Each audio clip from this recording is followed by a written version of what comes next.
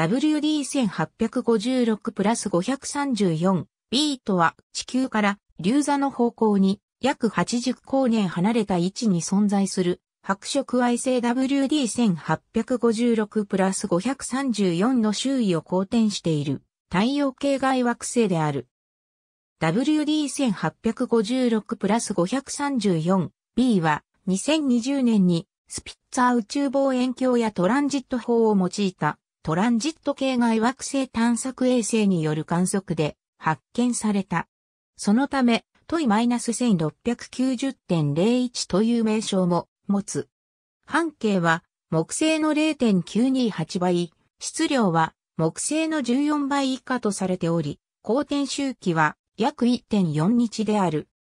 主星である白色矮星の7倍の大きさである。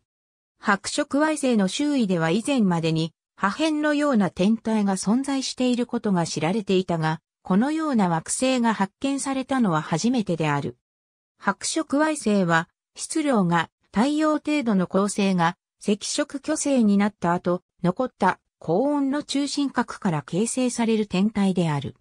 恒星が赤色巨星になった際、恒星の近くを公転していた惑星は主星に飲み込まれる。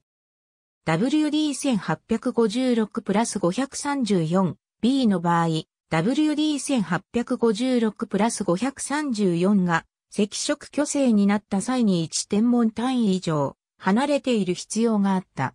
そのため WD1856 プラス 534B はもともとは主星から離れた位置を公転しており、主星が白色矮星になった後近づいたと推測されている。